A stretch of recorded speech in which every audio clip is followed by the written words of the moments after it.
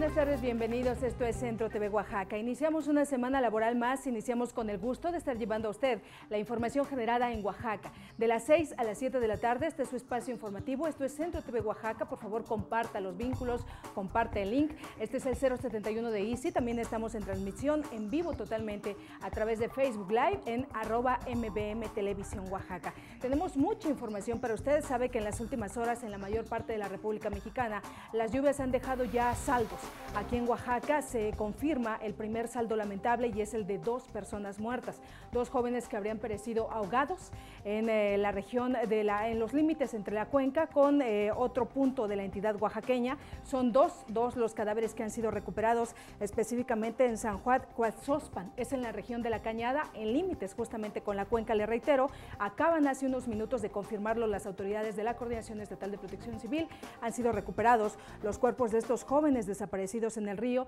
toda la localidad, todos los poblados vecinos se sumaron a estas labores de ayuda, afortunadamente han dado resultados pero bastante trágicos. Se presumía ya que pudiera suceder esta situación y se confirma ahora justamente la recuperación de dos cadáveres, los cuerpos habrían sido rescatados a unos 10 metros de profundidad, es decir, la corriente del río podría haberlos sepultado de acuerdo a cómo ha crecido el caudal en las últimas horas, como consecuencia, le reitero, de esta temporada de lluvias. Es parte del balance de las lluvias al momento que le presentamos a través de Centro TV Oaxaca.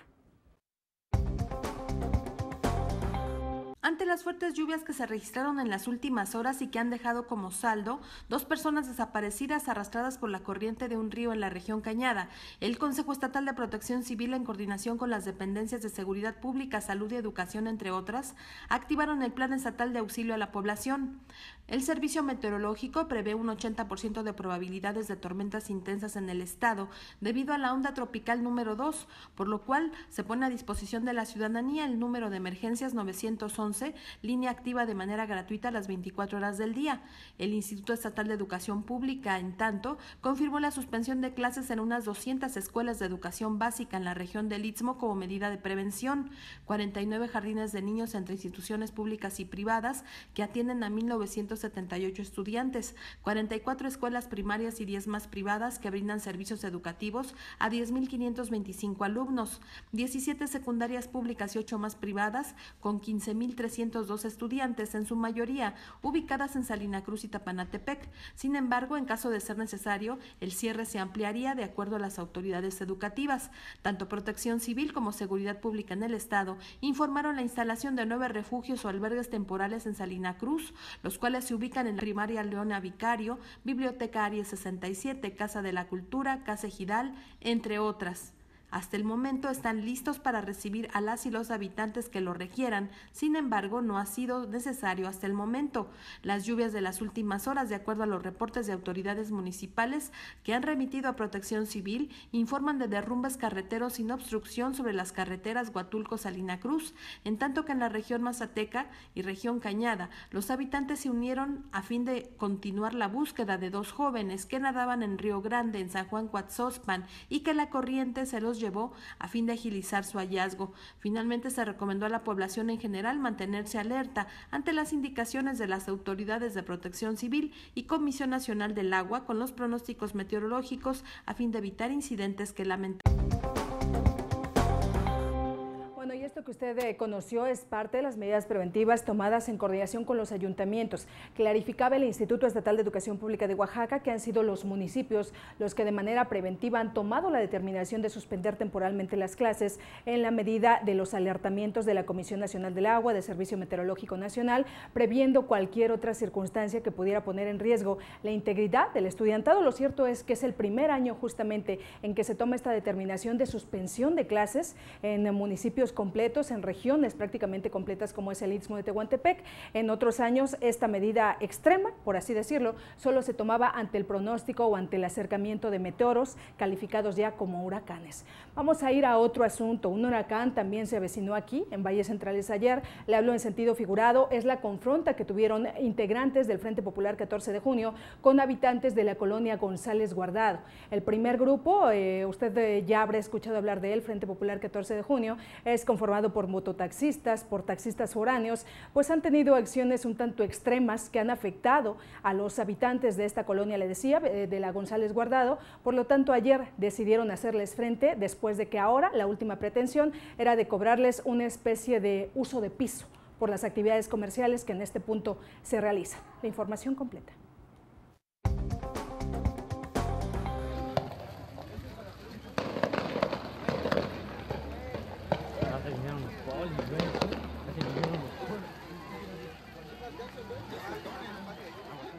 Este fin de semana se registró un enfrentamiento entre integrantes del Frente Popular 14 de junio y vecinos de la colonia Vicente Guerrero perteneciente a Villa de Sachila, que dejó un saldo de un menor de edad y un adulto heridos por arma de fuego.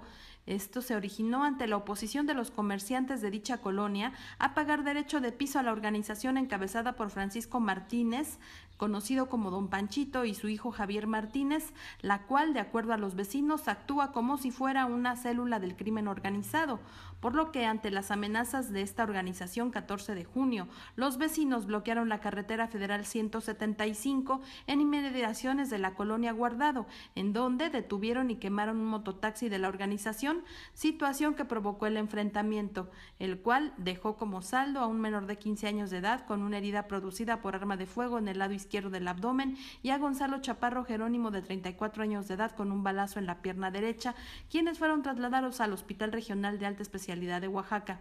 Ante esta situación, vecinos de la colonia Vicente Guerrero exigieron al gobierno estatal y a la Secretaría General de Gobierno su intervención para detener las constantes amenazas y agresiones que sufren por parte de la organización 14 de junio, pues advirtieron que se defenderán en caso de que las autoridades hagan caso omiso.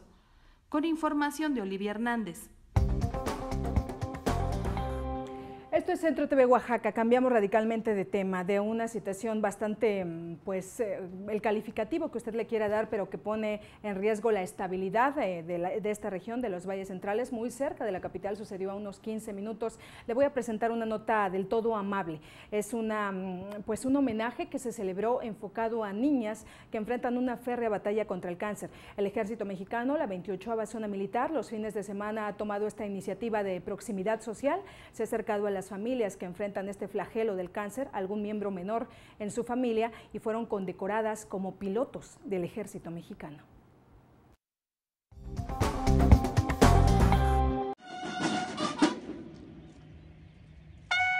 Las menores Yamilet Pérez Hernández y Kareni Sofía Sosa Martínez, de 7 y 11 años de edad respectivamente, cumplieron su sueño de ser militares por un día. Su lucha contra la leucemia fue motivo de un homenaje en la base militar número 15 en San Juan Bautista La Raya, donde les otorgaron por un día el grado de general de división piloto aviador. Las niñas expresaron su emoción durante la ceremonia en la que observaron un desfile militar. Siento mucha emoción al subirme, al ver todo lo que, todo estoy viendo, el avión, también porque, porque ellos ponen mucha atención, me gusta cómo marchan, manejan el piloto, cómo arrojan los cañones.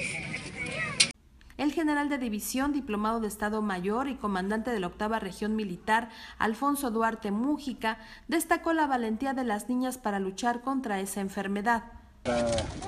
para estar muy bien, para combatir tu, enfermedad.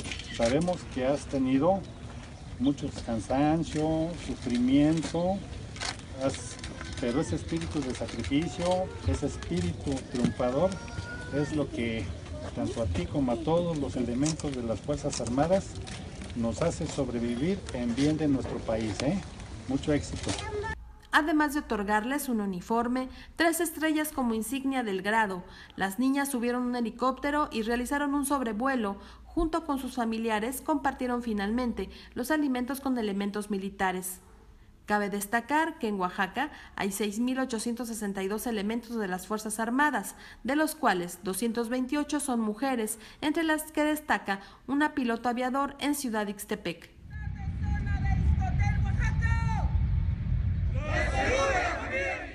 Informó Gisela Ramírez. Desde aquí un abrazo lleno de energía y buena vibra a estas guerreras que luchan contra el cáncer. Vamos a ir a la primera pausa promocional. Esto es Centro TV Oaxaca. Volvemos.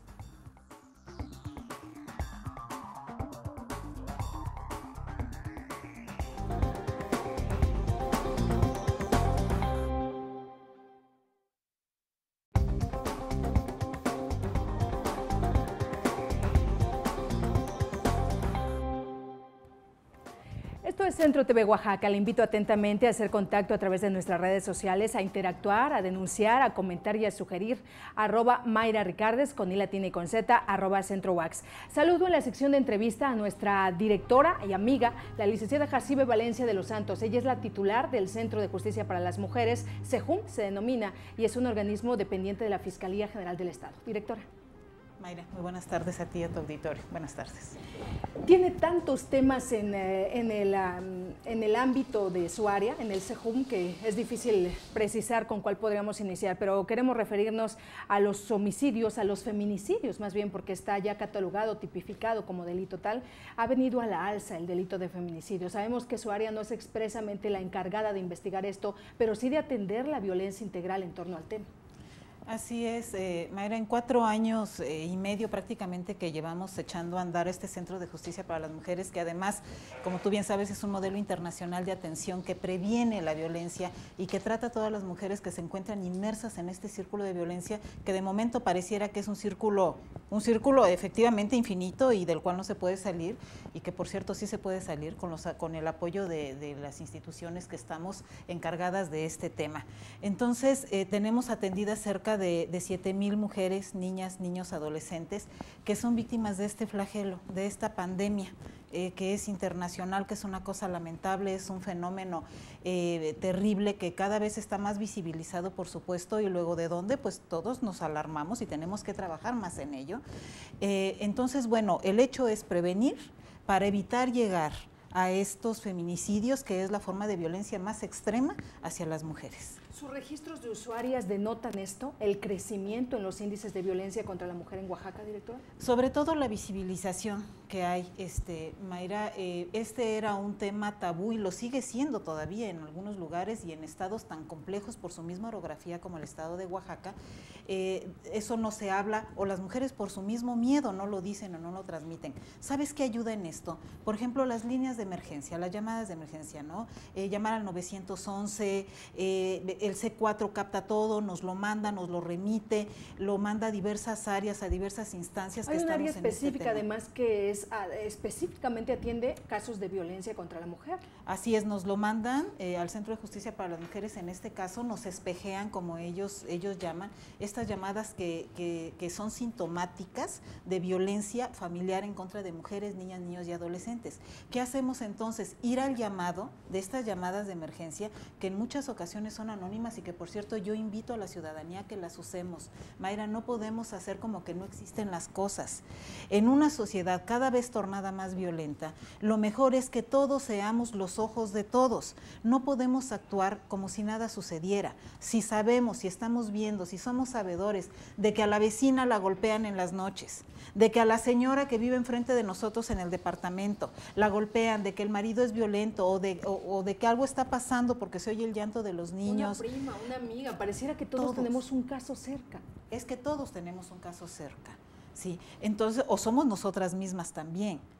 Entonces, además, se, se puede denunciar de manera eh, anónima, eh, eh, Mayra, no es necesario, si alguien no quiere meterse en problemas ni en complicaciones, miren, de verdad se les asegura que estas líneas son completamente confidenciales. Esta es una manera eficaz y eficiente y muy sensible sobre todo de visibilizar la violencia. Entonces tenemos que hacer algo todos y de todos estos avisos es una buena manera de prevenir, porque Centro de Justicia para las Mujeres en este caso llegamos hacia el, hogar, hacia el domicilio, hacia la población, el municipio, en donde nos estén reportando esta violencia. Se ha estado buscando a partir de estas estadísticas que se reportan a la alza de feminicidios, la alerta de género. ¿Qué tendencia tienen los proyectos 2017 para el CEJOM? Mira, vamos de la mano De hecho, este tema de, la, de las políticas transversales que tanto se menciona, dices, ¿qué cosa es una política? Una política transversal es que todas las instancias, todas las instituciones tenemos que intervenir. ¿sí? Este problema cruza por todas las dependencias que tengamos que ver con la atención a víctimas, con la cuestión policíaca, con la cuestión de la investigación y persecución de los delitos y por supuesto la tendencia hacia los centros de justicia para las mujeres es que estos crezcan qué ideal sería y qué mejor sería, Mayra, viendo todos estos fenómenos, que hubiera más de un centro de justicia en el Estado, que hubiera uno en cada región, bueno, eso sería maravilloso. Sí, porque Oaxaca es enorme, Oaxaca no es un estado pequeño, todos lo sabemos, es grande, es complejo, es multicultural, sí, es pluriétnico. Entonces Hay un prácticamente concluido en el Istmo en Juchitán. ¿Este se pudiera culminar este 2017? ¿De qué depende?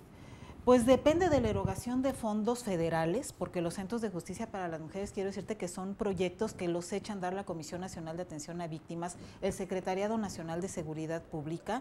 Entonces, bueno, si estas instancias ante las cuales se ha promovido, ¿no? Y he promovido de, manera particular con mucho entusiasmo, además desde la Fiscalía General del Estado, que es de donde depende el Centro de Justicia para las Mujeres, lo hemos estado realizando. Ha habido recortes y crisis de recursos a nivel federal, realmente eh, no es es algo que solamente Oaxaca lo resienta, lo sabemos, pero bueno, mientras se erogan estos, estos recursos, pues será la manera de terminarlo y de echarlo a andar, ¿no? Es una pena que a la fecha todavía no se pueda, pero es algo que escapa también del gobierno del Estado, ¿eh? ahí entra la federación.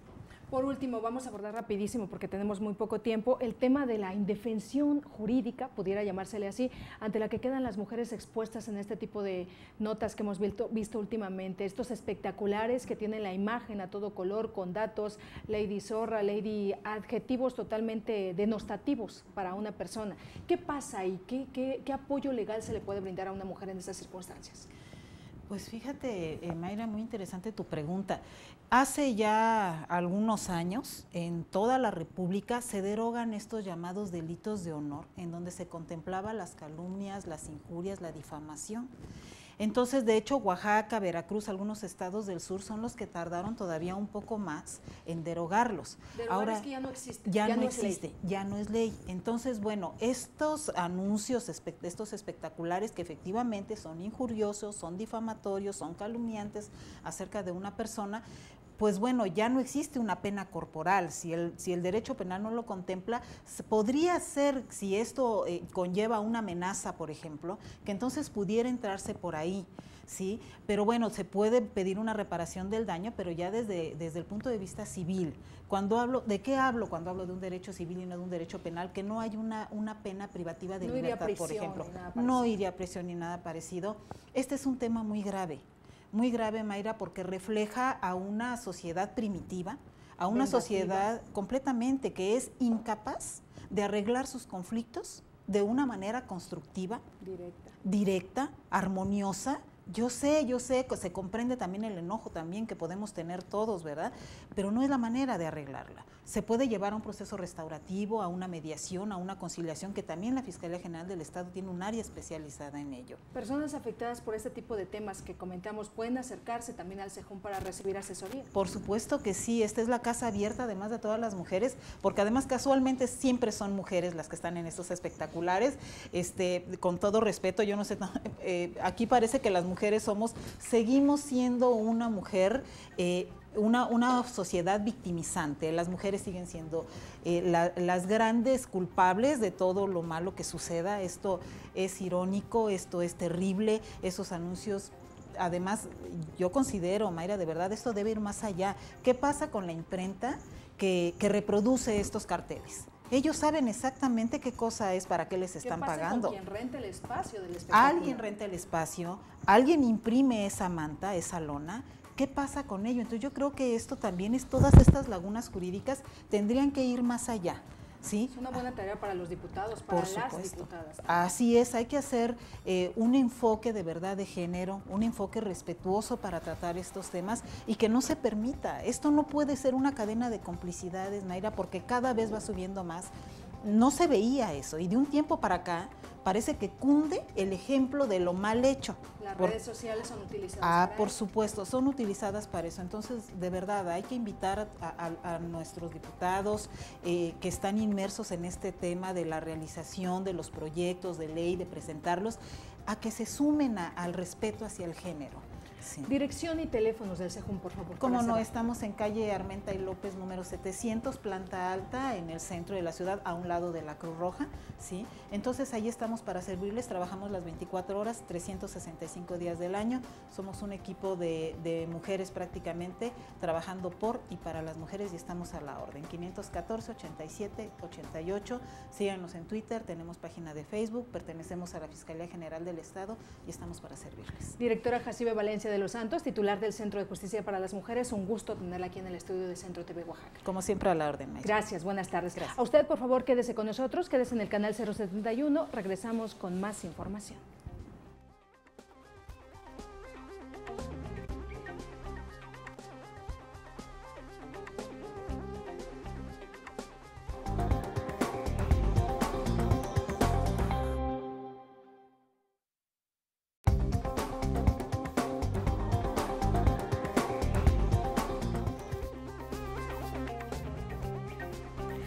De regreso en Centro TV Oaxaca. Soy Mayra Ricardes, en nombre de todo este equipo. Es un gusto que nos acompañe a lo largo de estos 60 minutos de información. Fíjese que en los últimos minutos, vecinos muy, muy alarmados de la zona de la central de Abasto, en sus colindancias, hablamos de los habitantes eh, que están muy cerca del puente Valerio Trujano, reportan un hundimiento importante de tierra. Señalan que la red de drenaje colapsó y está a cielo abierto prácticamente, un boquete de al menos dos metros de profundidad, es lo que se alcanza a ver en las imágenes, pudiera ser de más ya las instancias como el Sistema de Agua Potable de Oaxaca-Zapao están abordando el tema, están atendiendo la situación y estaría también la Coordinación Estatal de Protección Civil participando para acordonar la zona. Es una profundidad considerable, una extensión bastante importante que está, le decía, a cielo abierto en este momento. Ha colapsado por la cuestión del reblandecimiento de la tierra por las lluvias de las últimas horas, de los últimos días. Esta zona está abierta totalmente y por tanto se tiene que evitar el paso de transeúntes por esta zona. Es muy cerquita, a solo unos metros del puente Valerio Trujano, muy cerca de la central de Abasto. Vamos con más información, vamos ahora hasta la región del Istmo de Tehuantepec. Este fin de semana en Santa María Shadani habría elecciones. Llegaron autoridades del Instituto Estatal Electoral y de Participación Ciudadana de Oaxaca a ese punto para tratar de organizar lo necesario para dar paso a las elecciones. Sin embargo, actores políticos bastante conocidos en esta capital, por cierto, se trasladaron para hacer lo propio. Ha habido grescas, ha habido intentos ahí de conato y hay incluso el señalamiento de personas heridas. La información completa. El Instituto Nacional Electoral y el Instituto Estatal Electoral y de Participación Ciudadana de Oaxaca informaron que los funcionarios electorales que han sufrido agresiones durante las visitas que se han realizado al municipio de Santa María Chadani han interpuesto siete demandas ante la Fiscalía Especializada para la Atención de Delitos Electorales, FEPADE, y es que se dio a conocer que este domingo un grupo de personas que se oponen a la realización de la elección extraordinaria de autoridades municipales agredieron a capacitadores del IEPCO, en donde incluso quemaron un automóvil en el que se transportaba personal de la institución, ante lo cual el consejero presidente del IEPCO, Gustavo Nájera Menjueiro, señaló que a pesar de los actos violentos que se registraron, las actividades programadas a realizar por los funcionarios agredidos se llevaron a cabo. Asimismo, aseguró que desde que se mandató la elección extraordinaria, el instituto ha realizado todas las acciones necesarias para que la ciudadanía de Santa María Chadani acude a emitir su voto el próximo 4 de junio pues los órganos electorales han exhortado a todos los actores políticos a colaborar para generar las condiciones necesarias para que se lleve a cabo la elección. Con información de Oliver Hernández e imágenes de Hugo Velasco y José Luis Jerónimo. Oiga, lo que le voy a presentar a continuación es una buena noticia. Pese a los operativos, acordonamientos, boicot y todos los calificativos que dieron en llamarle integrantes de la sección 22 para evitar que los maestros sean evaluados, ellos rechazan la evaluación, rechazan todo lo que tiene que ver con la reforma educativa, así lo señalan.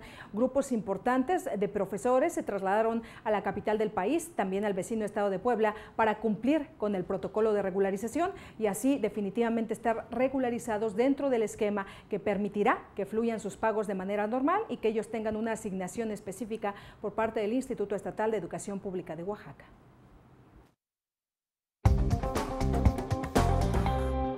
El Instituto Estatal de Educación Pública de Oaxaca informó que sin incidentes se desarrolló el ejercicio de desempeño para docentes en la entidad, el cual se realizó el 27 y 28 de mayo en 31 sedes del estado de Puebla y de la capital del país, en el que participaron 1.124 maestras y maestros de la entidad. La dependencia indicó que a aquellos asistentes este fin de semana, que a su vez participaron en el proceso de regularización de noviembre de 2016, sin importar el resultado, se les otorgará su nombramiento con código 95 y efectos abiertos. En tanto, el personal que no participó en el proceso de regularización, que ingresó al servicio antes del 1 de marzo de 2013 y que actualmente tiene nombramiento en código 95, con independencia del resultado que obtenga, se le otorgará un nombramiento definitivo con código 10 y efectos abiertos con todos los derechos y obligaciones de ley. Por otra parte, el IEPO señaló que las y los maestros que obtengan un resultado bueno podrán ser acreedores a la promoción por horas adicionales. Para quienes obtengan resultado destacado, adicionalmente accederían a la promoción por incentivos en la función, lo cual se traduce en un 35% de incremento salarial. El mismo YEPO en un documento también informa que quienes obtengan un resultado suficiente pueden ser candidatos a asesor técnico pedagógico por reconocimiento con un pago adicional mensual por incentivo de 3.500 pesos. Finalmente, a las y los maestros que obtengan un resultado insuficiente, el YEPO y la Secretaría de Educación Pública les brindarán acompañamiento para recibir formación continua. Vamos ahora a hacer un enlace telefónico con nuestro compañero el reportero Raciel Martínez. Está en un punto específico desde donde nos reporta cómo avanza este plan eh, estatal de desarrollo. Le hemos presentado en los últimos días la continuidad de este tema. El plan estatal de desarrollo es el eje rector, es la guía de donde va a partir este gobierno en los próximos eh, cinco o seis años eh, que comprende el periodo. Entonces será fundamental saber cuáles son las directrices, cuáles son los esquemas básicos y fundamentales a los que se apegará el aparato ejecutivo del Estado. Vamos a ir con Raciel. Te saludo, Raciel. Muy buenas tardes. ¿Qué tal, Mayra Ricardes? Buenas tardes. Tardes buenas al selecto auditorio.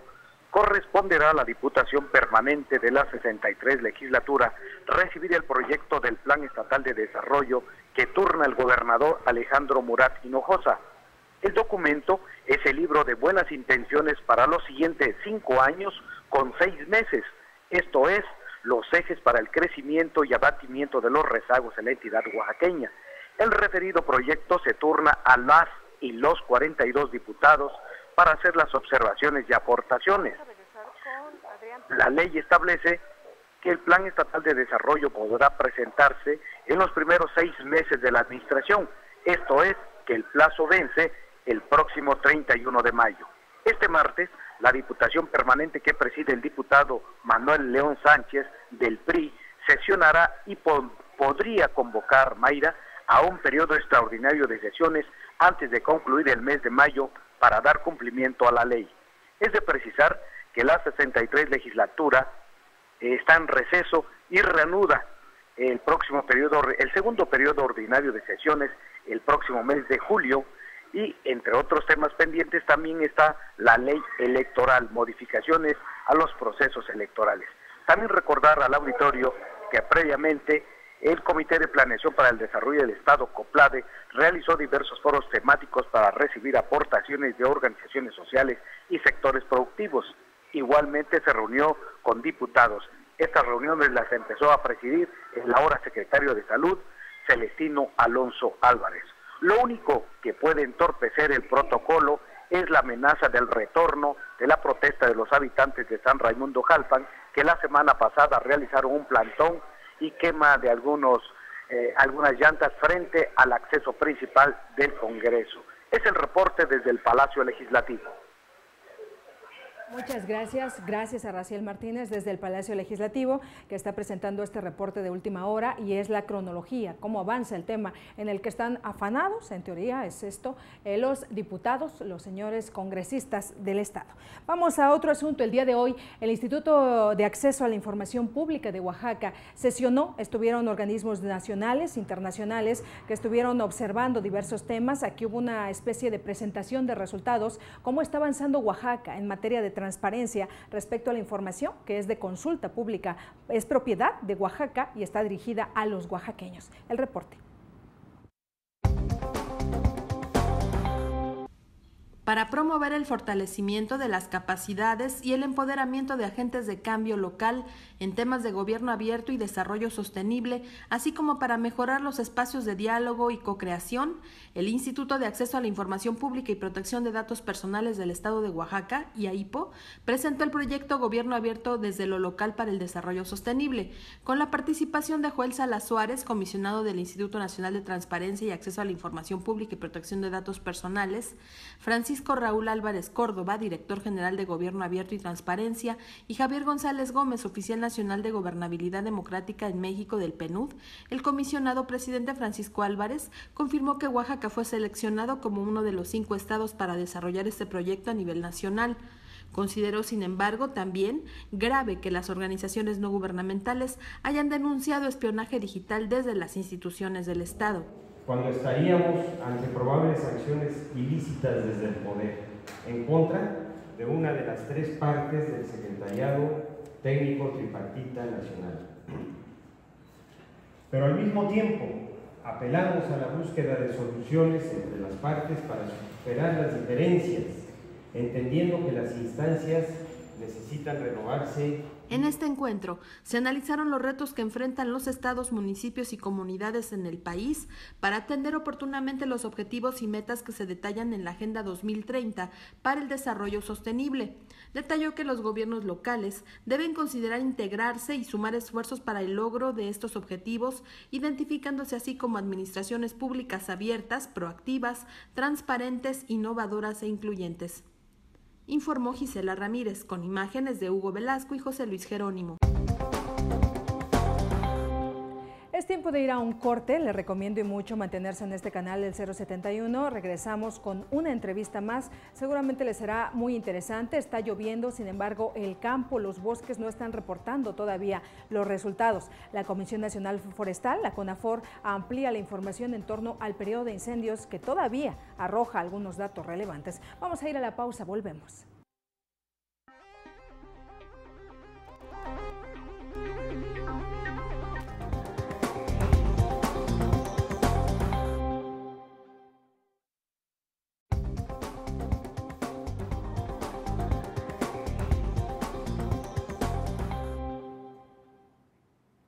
Estamos ya en la sección de entrevista en Centro TV Oaxaca. Gracias por continuar en esta frecuencia, el 071 de ICI. Vamos a entrar a un tema que tendría que tener un gran interés para todos. Hablamos de lo que es la naturaleza, hablamos de la preservación de nuestro entorno natural. En teoría es lo que se desea a partir de esto del calentamiento global, estos cambios climáticos tan repentinos, las lluvias, el calor extremo. Todo esto tiene incidencia en el tema que vamos a abordar. Saludo con mucho gusto aquí en el estudio de Centro TV Oaxaca al ingeniero Carlos René Estrella Canto, él es gerente estatal de la Comisión Nacional Forestal CONAFOR en Oaxaca. Ingeniero.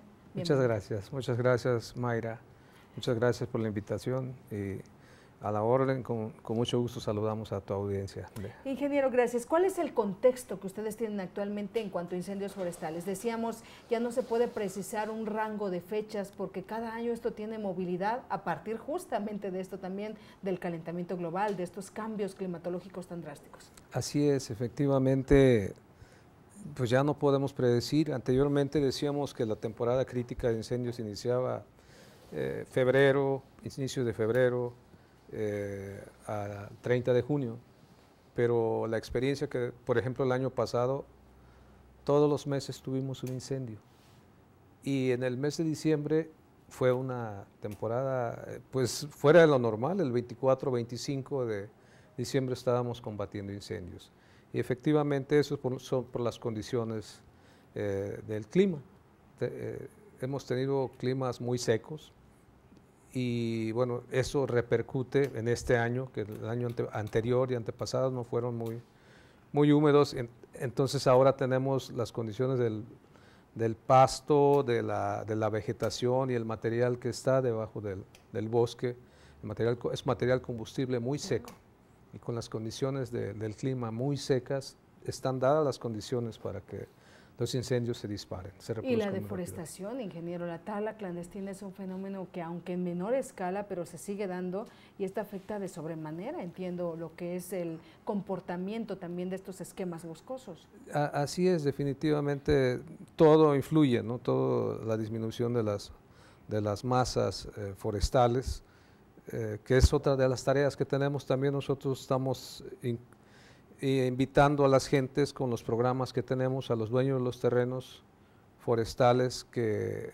quienes tienen un recursos forestales tengan un programa de manejo y tengan un aprovechamiento legal, o sea, un aprovechamiento donde se haga un estudio y el, aprovechamiento de, la madera sea con base a un estudio sustentable, donde se, se vea que, sea, que se mantengan, va a seguir existiendo vegetación porque es de manera selectiva y también eh, cuidando la biodiversidad sobre todo. Entonces los programas de manejo están estructurados de esa manera para que el aprovechamiento sea racional y sustentable. En un cálculo aproximado, decía usted, este periodo inició por ahí del 25 de diciembre de 2016, ¿estaría concluyendo hacia el mes de junio? Es, eh, bueno, le comentaba que antes era el 30 de junio, pero aproximaciones, digamos que la, la parte fuerte, que, tenemos las condiciones más críticas, porque ya se prevén algunas lluvias, eh, va a estar hasta el 30 de junio. Y el comportamiento del año pasado era que tuvimos un menor número de incendios. Hubieron meses que tuvimos un incendio tal vez. ¿no? Eh, eh, sí, definitivamente es poco, pero antes no teníamos. Terminábamos el 30 de junio y ya no teníamos incendios. ¿Con qué cifras vamos hasta ahora, ingeniero? Eh, sí, desafortunadamente cabe destacar, hay que destacar que sí estamos una, fue una afectación de, de superficie de 41.245 hectáreas que que tuvimos afectaciones en, eh, con 253 incendios. ¿Esto es más, menos? Rebasamos el año, pasado, que también fue seco y fue crítico, eh, por, eh, por el 100%. El 100% tuvimos un, poco más de 20 mil hectáreas. El ¿Ha sido este de los más críticos? De, de los más críticos de los últimos años. Pero si lo comparamos, por ejemplo, con el 2015, solo tuvimos 11 mil hectáreas. Entonces, eh, sí, sí, sí preocupa eh, porque eh, de alguna manera no se está respetando, hay unas costumbres que tienen todos los agricultores y ganaderos de la rosa tumba y quema. esas actividades están normadas por la Ley General de Desarrollo Forestal Sustentable y por la norma 015 eh, la norma 015 Semarnat eh, Zagarpa. La firma es Semarnat Zagarpa, pero baja hacia los estados, los ayuntamientos y por supuesto las comunidades, ejidos, los dueños de los terrenos que son los responsables de si van a utilizar el fuego como una herramienta para hacer las preparaciones de, de sus tierras para el pasto, que lo hagan de manera responsable y en esas normas se establecen ciertas características que se deben elegir o, considerar para llevar a cabo. Entre ellas es que, que no haya mucho calor, que sea de, de mañana, temprano, que hagan brechas, hagan guardarrayas para evitar que se les salga de control. Cuidar que no haya viento, y eso es lo que se ha descuidado, por eso crecieron tanto los incendios. Que haya gente, de preferencia si tienen agua, entre otras cosas por, por destacar es esto. ¿no? Y, pero lo, importante de esto es que en la comunidad debe haber un orden y un control de quién va quemando. ¿no? Y tienen que entregar un informe a la autoridad, municipal, a, la comunidad, la comunidad de la autoridad municipal, coordinarse con Zagarpa y eh, Desarrollo Rural del Estado. ¿Hay un municipio, uno solo que realmente lo haga, ingeniero? Uy, muy pocos, ¿eh? Muy pocos. Lo que sí, sí este, vale la pena destacar, que donde tenemos... Eh, buenos resultados con el aprovechamiento maderable, que es la parte de la Sierra Norte, que tampoco se escapó este año en la Sierra Norte porque tuvimos una afectación como de 2.000 hectáreas, son los que más respetan esta parte. Hemos avanzado en algunas comunidades donde, donde sí se, se lleva a cabo, pero desafortunadamente no tuvieron las, no consideraron las precauciones que hemos mencionado. Entonces tenemos que que reforzar esa parte, lo estamos haciendo, nos hemos coordinado con Zagarpa, con el, la parte de desarrollo agropecuario del, Estado y obviamente la parte, la contraparte nuestra del Estado, que es la Comisión Estatal Forestal, hemos estado fortaleciendo la, la, parte de la prevención, le llamamos a la prevención, desafortunadamente la prevención debe ser al término del 30 de junio, cuando terminamos nosotros nos dedicamos a hacer la prevención, trabajar en las comunidades, trabajar con, conjuntamente estas instituciones para concientizar a la gente. En este momento las condiciones de clima han mejorado, ya, ya hay un poco de humedad en el ambiente, sin embargo los pronósticos es que estamos por debajo de la media eh, anual de, precipitación, eh, los pronósticos de Conagua, vamos a estar abajo los meses que siguen de los promedios. O sea, Esto sigue siendo un aliciente para la posibilidad de incendios. De incendios. Entonces, la recomendación, yo antes les comentaba, háganlo con responsabilidad. Y ahorita yo les recomiendo que no quemen, porque siguen estando las condiciones. Sí es cierto, ha habido un poco de humedad, pero no la suficiente. Es difícil esto, ¿no? Porque está el otro lado donde vemos que campesinos mueren en esta cuestión de la, costumbre de la rosa, tumba y quema, pero también del otro está la necesidad de intentar todo para hacer producir la tierra. Entonces se enfrentan a esta disyuntiva, no, no asumen la responsabilidad y vienen las consecuencias fatales. Y así es, y, justamente eso es lo que estamos haciendo. Se puede hacer en otros pero estados con orientación. con orientación. Estas, estas comunidades Primero es saber qué es lo que tienen que hacer y nosotros nos dedicamos a capacitarlos. Hemos capacitado por, años a las comunidades abrigadas para que se dediquen a, o a las comunidades a cómo quemar o bien a cómo combatir un incendio. Entonces, eso lo hacemos. ¿Cómo avanzaron este periodo en capacitación? Tenemos cifras de nuevas, nuevos municipios. Cada año, entiendo, son el mismo número de los que se tienen que capacitar forzosamente. ¿Qué cifras tienen? Y el recurso que se habría destinado, tal vez esto nos haga más mella a la población. ¿Qué recurso destina el gobierno federal para esta tarea, al menos este año? Bueno, nosotros en general para, para la operación del programa tenemos con AFOR 14 millones de pesos. Es combate y prevención. Lo más costoso para nosotros es el combate. La prevención no, no nos ocupa tanto recurso, ¿no? Eh, es más bien de organización. Sí, eh, porque eso es, nosotros vamos a las comunidades, eh, les pedimos el, espacio, normalmente nos coordinamos con Zagarpa o con SEDAPA o con otras instancias con protección civil y con los mismos ayuntamientos quienes de alguna manera ponen las condiciones y nosotros somos los capacitadores, tanto COESFO como nosotros. ¿no? No, no es tanto recurso, lo que ocupa mucho recurso es el incendio. ¿no? A la hora de que tenemos el incendio. Hablo de un presupuesto, pero este presupuesto no necesario, nunca, nunca es el que, digamos, es el que utilizamos, siempre nos vamos hacia arriba. Digamos que a nivel nacional eh, sabemos la, necesidad y si se requiere, pues hacemos uso de recursos. Es decir, ¿Por, qué se gasta tanto sofocando un incendio? Porque, bueno, uno, necesitamos gente, hay que la gente movilizarla. ¿no? En, gran parte de los incendios de aquí hemos tenido que utilizar helicóptero. Nosotros pagamos una renta para helicópteros y eso tiene un costo fuerte, elevado. Entonces, esa parte es lo que nos complica más. Eh, a la hora que tenemos que combatir un incendio y a veces dura muchos días y toda la gente que está trabajando, es el costo que tenemos más el costo de los comuneros o, la, o, el costo de COESFO o el costo de Sedena, que son los otros que nos, nos apoyan. ¿Tuvimos que lamentar muertes en este periodo? En este periodo, desafortunadamente, fallecieron cuatro en, en Sola de Vega. Eh, desafortunadamente ahí este, no nos enteramos, ya, ya posteriormente nos avisaron de cuando ya, había pasado el asunto. Eh, no, no, tuvimos la, la, información a tiempo ya luego nos convocaron. Pero e, esos son los riesgos también, son los costos que tenemos. Y, yo sí quiero destacar que es una por la irresponsabilidad, porque está, las condiciones están dadas.